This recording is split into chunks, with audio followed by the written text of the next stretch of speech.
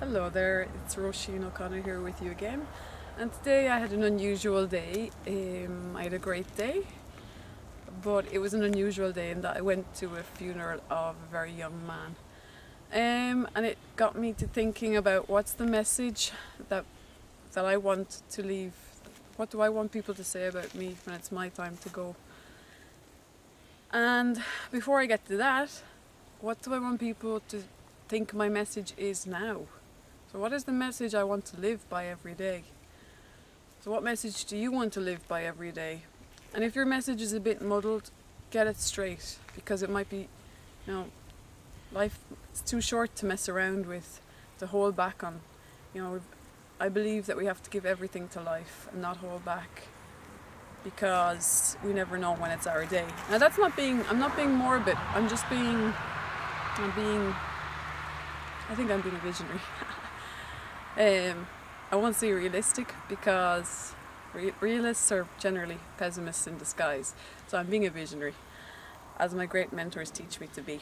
So anyway, that brings me on to the to a call that I listened to today. It was a recorded call from last Saturday night that my my team did at Mentoring for Free, and luckily I was able to listen to the recording today.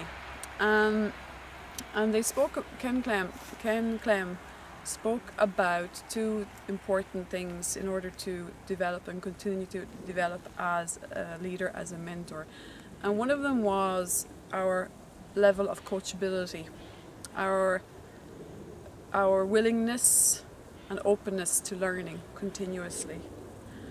Um, and he talked about our mentor Michael Dlouhy and the way that he is constantly learning, even though he's at a very high level of develop of self development.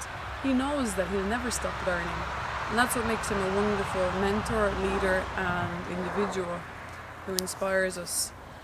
And um, so we never stop learning. We continue to grow. The moment that you decide that you think you have all the answers, that's the time when that's the time when you're actually going to go on a downhill spiral because we never have all the answers. Nobody has all the answers. And then the second thing, the second thing that Ken Clem spoke about was our ability to adapt to change. You know, we're in a home-based business. We have to be flexible to change. Be with a change of appointment, a change in our team. Um, changes take place in life. In life, it's inevitable, and nowhere is it more inevitable than in a home-based business when you work with people. When people are your, when people are your everything. So ask yourself how are you on that scale of your coachability and your ability to to change your flexibility to change? Um, so I'll leave you with that and I'll leave you that what I've been thinking my message is today that everyone I speak to I hope as a mentor everybody I speak to I hope I'm enlightening them.